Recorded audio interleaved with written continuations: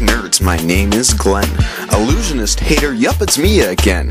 You've seen me on YouTube doing crazy stuff, but you still tune in, cause you can't get enough. Let's talk about fraud that overpriced DVD. 25 bucks? You gotta be kidding me! Ellusionist bastards, you capitalist pigs, releasing crap promising to get you gigs. I do admire Tomas Medina, Richard Sanders, I'd like to meet ya. Coin magic is not my forte.